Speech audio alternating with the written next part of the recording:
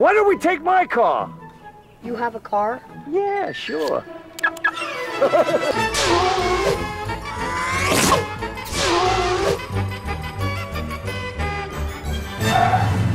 That is so cool. That's just the dust cover. The cat has a car, the uh, SLOW. S-L-O-W. S L O W. Yeah, slow.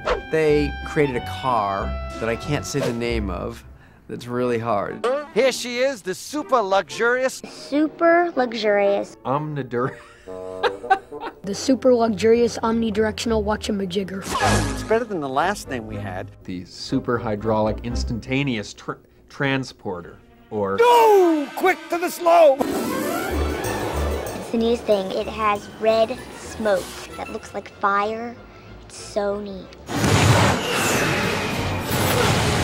The SLOW has been this uh, great project. It's a very strange three-wheel combination of boat, plane and car. The vehicle design developed from sketches that Bo did and we have a great vehicle designer called Harald Belker.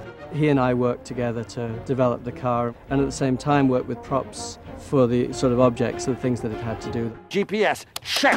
DVD, CD, check. Someone from Czechoslovakia is a check. it was set up so that the kids and the cat could sit in it, and there was a blind driver. He drove by watching a monitor that was hooked up to a tiny camera in the front of the car. Wait! Two people can't drive at the same time? You're right. We should all drive. I am, you know, also very much a, a, a kid at heart, and I wanted to drive a slow. I wanted to have a model of the slow. It's very nimble because it was a three-wheeled vehicle, and the steering wheel was in the back, so it could turn on its own two wheels. I think that the props in the movie are exactly how you would bring the book to life.